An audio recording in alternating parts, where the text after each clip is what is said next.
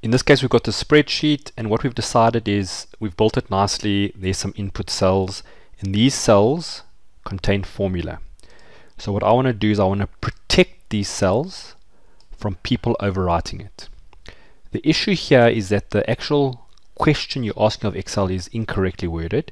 You want to protect these cells, but the way you should actually be phrasing it is that you want Excel to unprotect these cells. So let's just understand why. By default, when you open up any Excel file, every single cell is set up that when you protect it, it will be protected. So let's just understand that. If I go to review, you'll see there's an item here called protect sheet. So this is the button that puts the protection on. So when I click on it, it asks this. You could put in a password, you could specify what it's gonna what you're allowed to do. For now I'm just gonna say okay. And what you'll notice is that by default, if I go here and I try and change it, it doesn't allow it. So by default, every single cell is what is called locked. And it will become locked when you push this button. So I'm just going to unprotect the sheet again. So that's why when you want to protect these cells, what you're actually asking is that certain other cells are not protected. How do we do that? I'm going to highlight these cells. And if you go to your format cells option, so depending how you do it, we like to do control 1. You'll notice you've probably worked on this a lot. These are all the normal options. And right at the end, there's something called protection.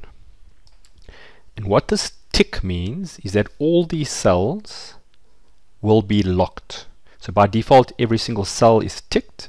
And what that means is when you click protect sheets, all cells with a tick in the locked will not be accessible. So what we need to do is highlight these cells and tell them to be not locked. When I say OK, now at this stage nothing has changed. I can still accidentally go in here and type something. So keep in mind that unlocking these cells is just telling the, the cells what they should be when protected. The actual protection process involves going to review, protect sheets. We can put a password on, we'll explain that elsewhere. You can choose the type of protection, but I can say OK. Now, when I come here and I want to change that to 35%, it allows me. But if I come to one of these formulas, one of the ones that we didn't unlock, you'll see I can no longer access it. So the most important thing about this process is to understand that the phrasing of the word, you saying I want these cells to be protected, is not the way it works in Excel. In Excel, all cells are going to be protected when you push this button. What you need to specify is what shouldn't be protected. And in this case, it's all the blue cells. Let's just look now at the dialog box. When we click Protect Sheet, you'll see this pops up. So the first thing it says is do you want to put a password on? So if you don't put a password on, then someone can switch it on and off at will. If I do put a password on, so let's put a password on, what it'll do is when I say OK, it'll ask for the password again, and when I say OK, it then accepts it. To unprotect it now, I have to get the password correct. You'll see in that case I didn't.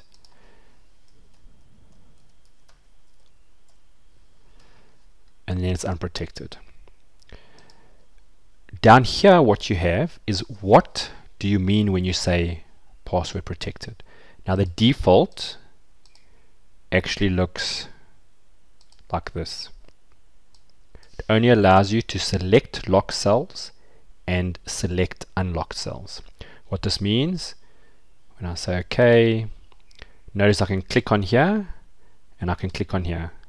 Here I can change the number.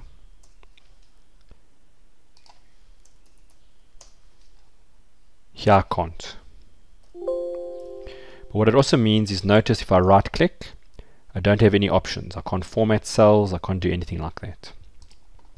Let's just unprotect the sheet and protect it again. What I'm now going to do is I'm going to say no, the person is not allowed to select the locked cells. I'm going to switch that off.